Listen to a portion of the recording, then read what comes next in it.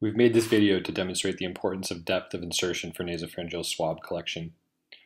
Here you can see the nasal anatomy. On the left is the inferior turbinate, the right is the septum, and the distance is the nasopharynx.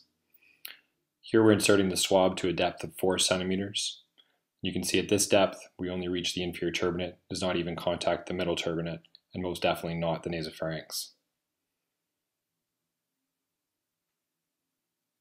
By inserting this further to 7 centimeters, or half of the distance from the nose to the ear, you can see we're just at the edge of the nasopharynx. But when the swab is spun in this area, it is spinning in air and is not contacting nasal mucosa.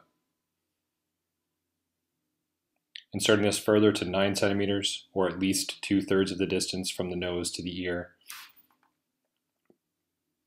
we are now contacting nasopharyngeal mucosa at the posterior nasopharynx and obtaining an excellent nasopharyngeal swab specimen.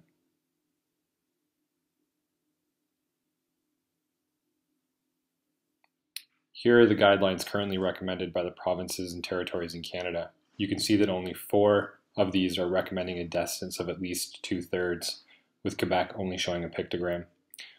Most concerning are Alberta and Northwest Territories recommending a depth of 4 centimeters of insertion to reach the nasopharynx for a nasopharyngeal swab.